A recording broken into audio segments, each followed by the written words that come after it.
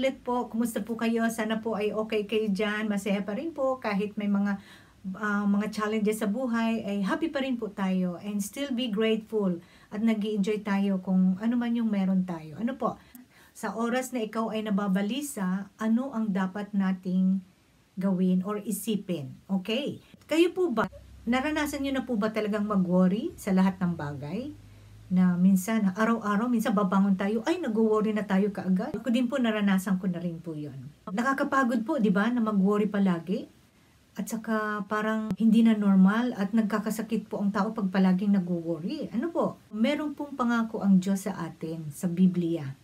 Sa Philippians 4, 6 and 7, Be anxious for nothing, but in everything by prayer and supplication with thanksgiving, let your request be made known to God, and the peace of God, which passes or surpasses all comprehension, will guard your hearts and your minds in Christ Jesus. Ang akin pong pinanindigan is ang akin pong pinanghawakan na kapag ako po ay nag-worry, huwag daw tayo mabalisa. Instead, ano ang dapat natin gawin? Kundi manalangin. Mananalangin tayo with thanksgiving. Nagpapasalamat na tayo sa ating ipinapanalangin. And kailangan ipaalam natin yung request natin o ipaalam natin yung mga concern natin sa Panginoon. Alam niyo po ba bakit pa natin ipapaalam? Ay alam, alam na ng Panginoon yan. Totoo po yan. Pero ang isang bagay po na nag-open tayo sa Diyos ang ating mga problema ay malaking bagay po yun. Binubuhos po natin. Di ba tayo pag may problema tayo, minsan may kausap tayo, nagagaan na ang pakiramdam natin. So ganun po tayo. Kaya, kaya tayo nagpe-pray at sinasabi lahat, natin lahat sa Panginoon eh dahil siya po yung nakakaalam lahat sa mga problema natin. Kung ginawa natin yon and made known to Him yung ating mga request sa Kanya, ay magkakaroon po tayo ng kapayapaan. Kanino? Di ba kay Jesus?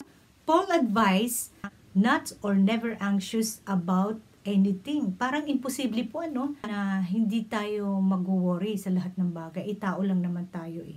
Pero totoo po yun tao lang talaga tayo. Pero gustuhin ba natin na tayo mag-worry every time? Nakakapagod po yun at baka magkasakit pa tayo. Kaya ang sinasabi ni Paul dito sa Bible is stop worrying. We need to turn our worries into prayer. So the more we worry, the more we pray. Kasi uh, wala naman magagawa yung mga worry natin, di ba? So kahit po nasaan tayo ay magpe-pray tayo kung anong ginagawa natin at may naisip na naman ay naku, may problema pala ako. Need to pray. Totoo po yan. Hindi po natin kontrolado ang buhay natin. Kailangan natin mag-pray tayo. Kung tayo nagpe-pray, we will have peace in Jesus Christ. Yung peace po dito is different from world peace.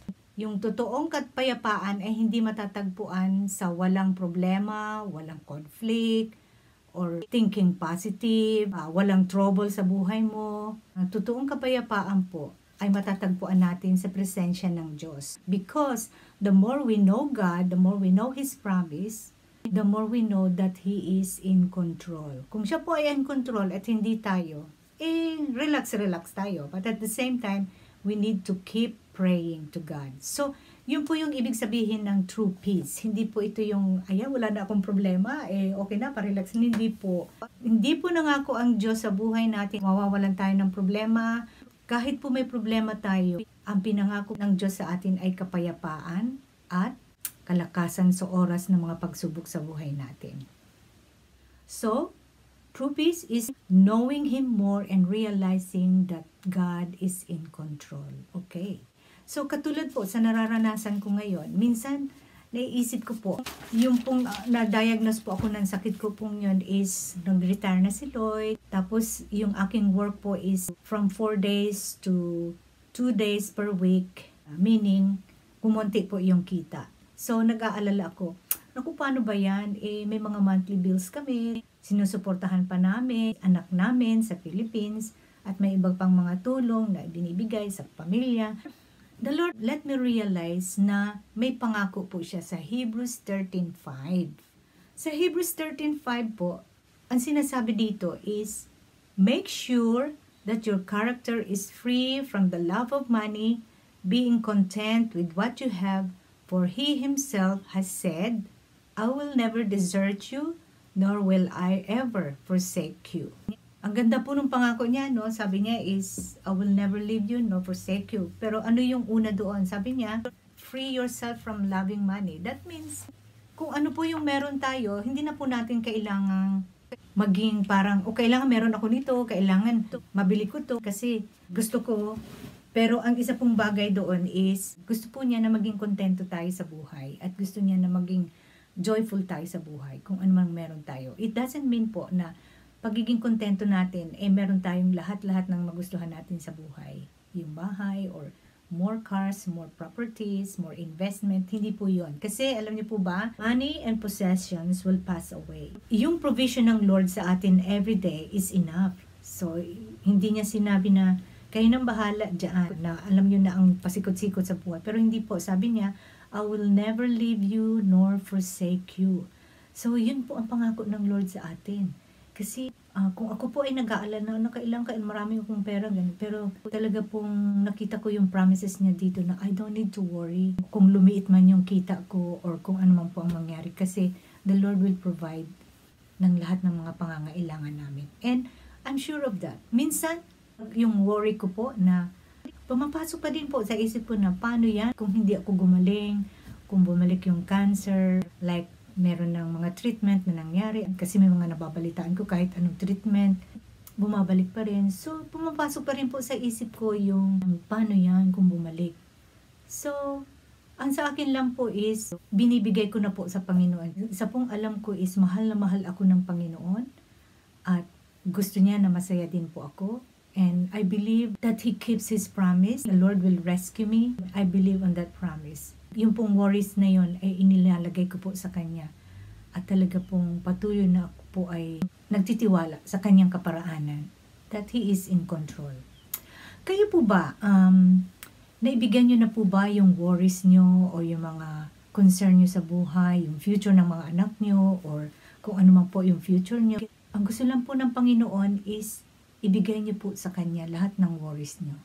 At hindi lang po yan ang gusto po niya is ibigay niyo yung sarili niyo sa Kanya, yung buong pagkatao niyo, lahat-lahat po sa buhay mo, ibigay niyo sa Panginoon. Isuko niyo yung buhay niyo sa Panginoong Jesus dahil siya lamang po ang may akda ng buhay natin. Siya lamang po ang nakakaalam ng future natin. So, bilang pagsuko po ng ating lahat ng worry sa buhay natin, meron po siyang nakalagak at napangako sa atin. Bakit po kay Jesus? Kasi siya lamang po yung namatay, siya lamang ang anak ng Diyos, siya lang ang nabuhay na muli at ngayon ay nasa sa langit at nagpe-prepare ng place sa atin sa kalangitan. Uh, iniimbitahan tayo ni Jesus na ilagay natin sa Kanya lahat. Do not run away from His love, from His promises, and He will never fail you.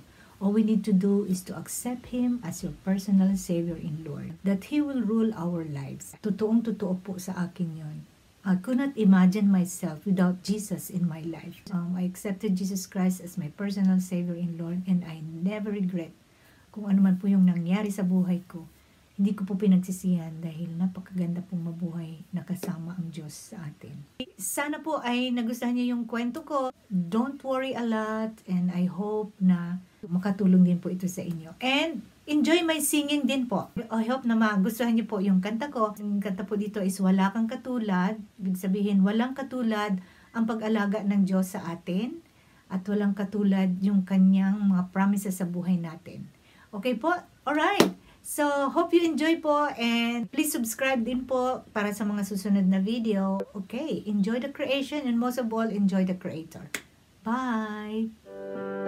Sa tuwing ang puso